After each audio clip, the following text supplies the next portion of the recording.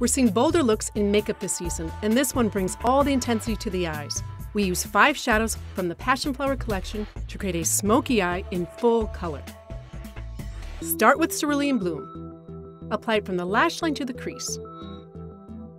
Blend it out and diffuse the edges.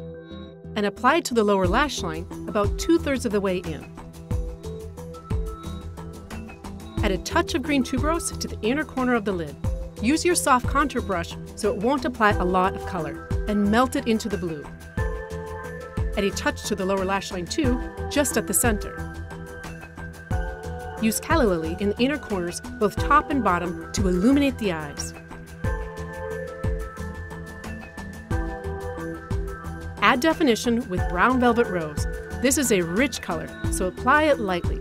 Softly contour the eye and diffuse the edges. Now diffuse the outer edge once more.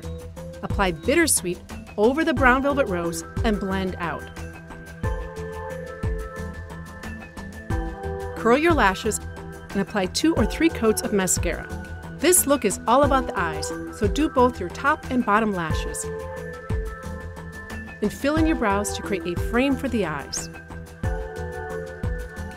The rest of the look is soft and natural. Highlight your bone structure with Calla Lily to give your skin a glow.